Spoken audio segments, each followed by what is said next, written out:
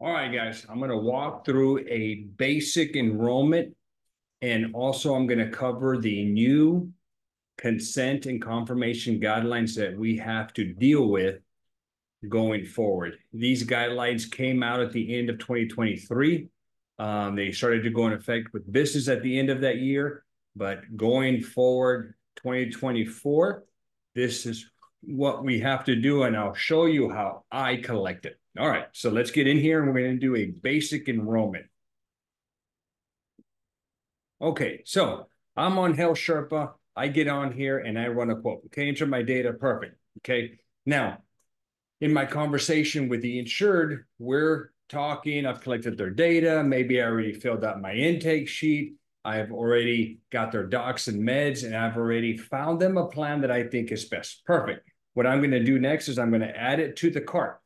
Okay. All right. So now once I've added it to the cart, right here where it says start application, when I click on that, in fact, before I click on start app and do a search, you must get consent. Okay. There is a form that CMS gave us as, to use as an example that gives, that tells the insured that giving us consent to do the application for, how long the consent lasts for, what we can do with their data. And uh, so you've got to collect that before you actually do the search. Okay. So you can collect it. Uh, if you're sitting in front of them, you can get a wet signature on a permission on that consent form. You can email it to them. All right. You can text it to them. You can use a digital signature like a DocuSign or Adobe Sign, or you can collect it verbally on a recording. Okay, whatever you want to do. Okay, so what I do because we can collect it via text, I use Agent CRM. That's the CRM that I recommend that you guys use, and make sure you use my affiliate link because you get all of my workflows, and this will be built into your version of the Agent CRM. So before I click on start, I tell my insurance, look, I have to get a consent. These are new rules, they're protections. Every agent should get this before they search you up. Okay. So I go into my agent CRM. Okay. And I make sure that their phone name and first name and last name is entered. I will make sure that their email is entered, their phone number, and I put their date of birth. Okay. Marketing purposes. I have a workflow that you guys will have access to that when they turn 64 and a half, they let you know, which is beautiful. It's your internal leads for Medicare. All right. Then what I will do is I will click here, ask for ACA consent. Now you can get it in English or Spanish, you, and this is by text, or you can email it. I will click SMS English, and down below there's a save button. I'll save it. That's all that I've got to do. Then the system will send them this. Okay, it's a picture, it's sending it by text. And there is the consent form. They can open it up, review it, and then if they give me consent, I tell them to reply back with I consent. Beautiful. I've captured it here. Also, within the CRM, here in the notes section, the it'll be a timestamped activity. All right. Once I get consent, now I can proceed. Okay, so I'll continue. Uh, now I will enter their first name, last name, date of birth, and state. Uh, I have received permission because I just collected it, and I will search. Now, what happens here, if there's an app forum, it will pop up. Okay, if there isn't, you'll create a new app. Now, the recommendation from healthcare.gov and CMS is don't create a bunch of another one is take the one that they have for that year and update it.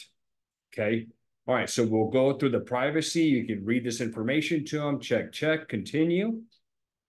Who's applying for coverage? Now, in this section, guys, it is important. You can do this in one of two ways. This is one way. So let's say you got husband and wife. You put the husband here first. Okay. Is he applying for coverage? This is a yes or no. Maybe the husband has it at work, but the wife doesn't. Okay, you, you still have to put everybody that's in the tax household. I like to do it here. So it's mom, dad, three kids. Perfect.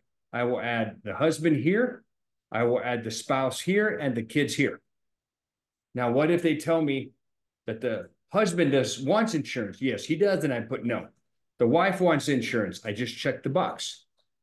What if the kids don't want insurance because they have CHIP or Medicaid, or maybe the the the, the father has you know it's a divorced household and dad's providing insurance. Uh, so you can just put them in here if they're being claimed on the tax return by this household and check whether they want it or not. Okay, you hit add another person, you put their name, their date of birth, and relationship. All right, then you hit continue, you go to the next screen. Now, for every person that you entered, you're going to enter their social. If they're not being insured, you don't have to, but I do. Okay, do they smoke? Are they a U.S. citizen? Yes. If they're not, put no, and then they should have an eligible immigration status. So I'm going to show you of an example what this looks like. So yes, we go next here. We enter the information on their green card. The A number's in the front. This card number is in the back, and then the expiration date. Okay, so here's some more information that you've got to add. Once you've done that, it'll come down here and ask you if they are incarcerated, no. If they're an in American Indian or Alaska Native, uh, it'll come up here and ask if they are of Hispanic, Latino, or Spanish origin.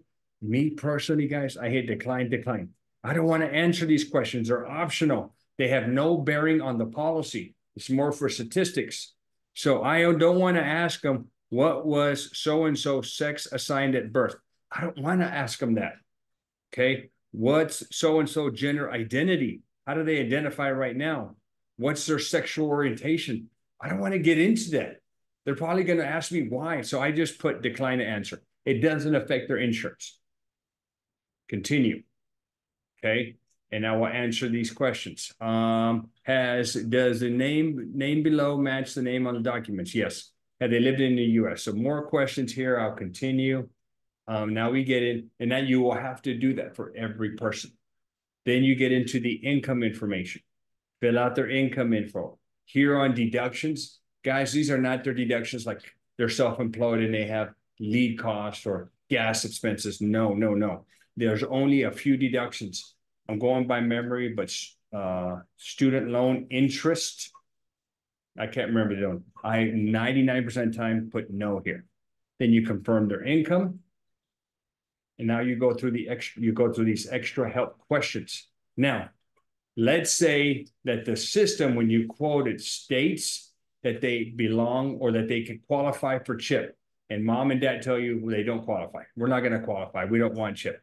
What you have to do is here, where any of these people found not eligible for Medicaid or CHIP, you will check it, and you maybe you'll have the three kids listed here. So you'll find the kid that is so supposedly you found ineligible. You'll click it and you put a date within the 90 days. Okay, more questions here. You continue, uh, you continue, continue, continue. Then you get to the finalize. Now, we are in the second half of the um, of the um, the new compliance crap that we have to do now. So what I do is I hit print and I save this as a PDF. So you will get a bunch of information here. Their name, address, uh, you will get the, everybody in the household and who's applying and the income. All the data that is important that generates the final numbers for your application. I save it as a PDF. I'll call it John Smith finalize or John Smith application. Then what I do is I go back to agent CRM and I will click down here where it says SMS. Down here at the bottom, there's a paper clip and I will attach, I will hit the paper clip and I'll go find wherever I saved that document. And then I'll grab it and then I'll grab it and I'll hit send and it sends it to them.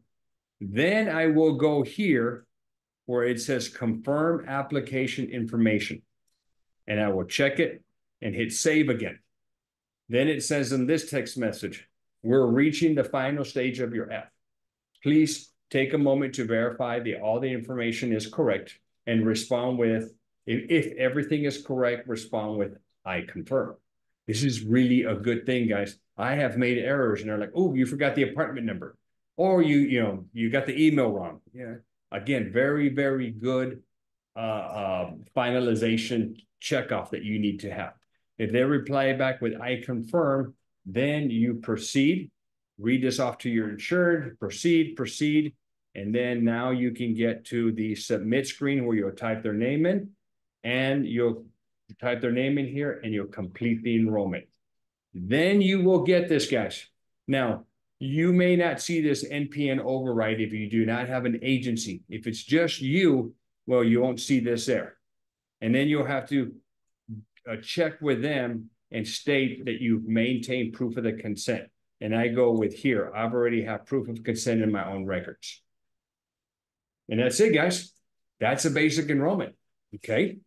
All right. So giddy up, start writing some business.